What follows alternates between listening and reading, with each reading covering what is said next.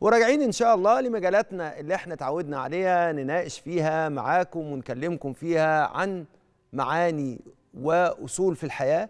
هذه الأصول في الحياة نقدر بيها نعيش عيش سعيدة عيشة هنية عيشة مليانة فرح وسعادة ووسع.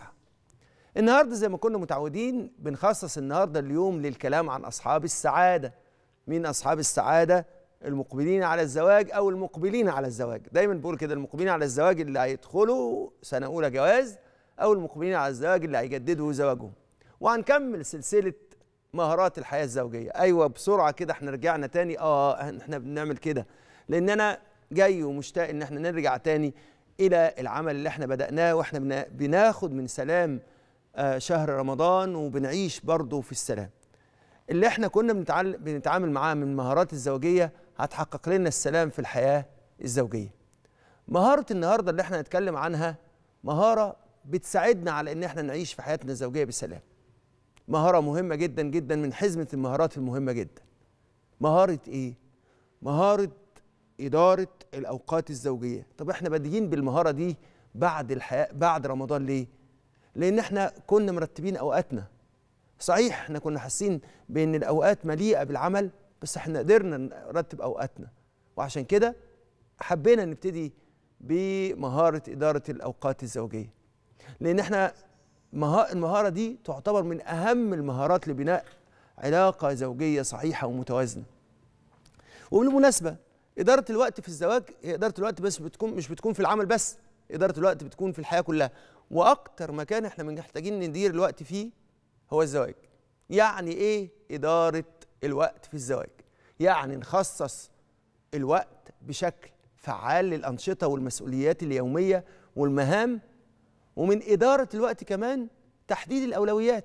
وده بيساعد في تعزيز التواصل والتفاهم ما بين الزوجين وما بين كل أفراد الأسرة ويتحقق التوازن بين الحياة الشخصية والمهنية. ومن جزء من أجزاء إدارة الوقت إن أنت تخلي الوقت جيد. اللي هم بيطلقوا عليه ال quality time الأزواج والزوجات كتير بيشتكوا من انشغال شريك حياتهم عنهم وغيابه. فالزوج مثلا بيشتكي من إن زوجته بتكرس وقتها كله للبيت أو للأولاد أو للبيت والأولاد أو للبيت والأولاد والشغل. ويقول أنت يا إما في المطبخ يا إما بتذاكري للعيال يا إما في الشغل. ونفس الحكاية مع الزوجة. بتلاقي نفسها بتقول لزوجها أنت على طول في الشغل. أو على القهوة مع أصحابك. وأنا والعيال مش بنشوفك. وقربنا ننسى شكلك. صحيح بيقولوا كده آه. مش بس ننسى شكلك أنت كمان غاب دورك عن الأسرة. وده كله وراه إيه بقى وراه عدم حسن إدارة الأوقات الزوجية. المشكلة دي جاية من إن الزوجين مش قادرين يحددوا أولوياتهم بشكل صحيح.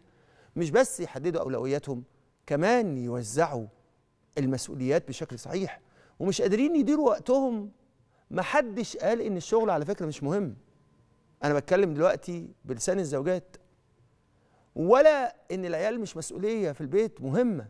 أنا بتكلم كده بلسان الأزواج. أو الترفيه عن النفس مش مهم. رجعت تاني أتكلم بلسان الزوجات. بس كمان لازم كل حاجة مهمة تاخد حقها. المهم إن إحنا نعرف نحدد الوقت المناسب لكل حاجة. ونقوم بأدوارنا بشكل صحيح.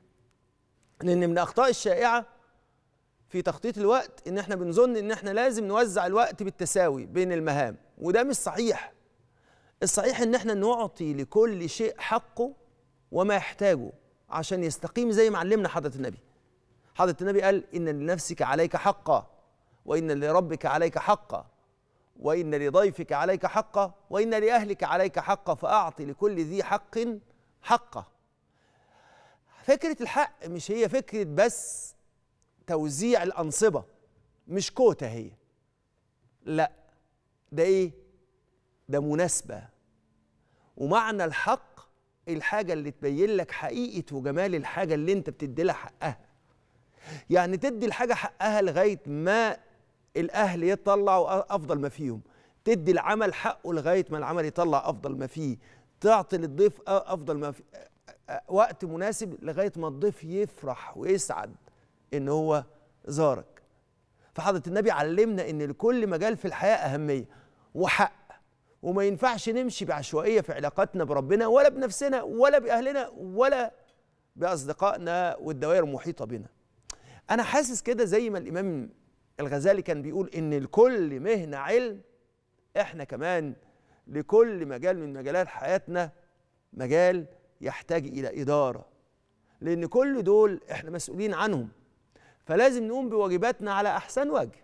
أحسن وجه يعني نطلع أحسن ما فيهم وأحسن ما فينا. وأحسن وجه يعني إن الأوقات دي مهم تكون مخصصة بأعلى جودة. عايز تعرف أنت متزن ولا لأ؟ شوف الوقت اللي أنت بتديه جيد ولا لأ.